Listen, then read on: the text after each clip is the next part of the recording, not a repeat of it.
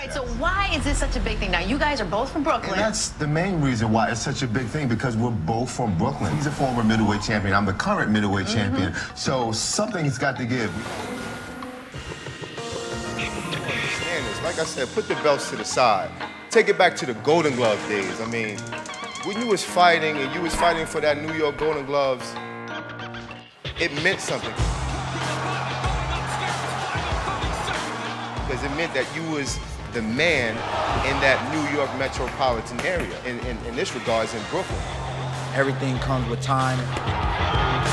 Now's the right time, the right moment, all the right people. You know, we're gonna be throwing bombs. You know, that's what I'm coming to do, Danny.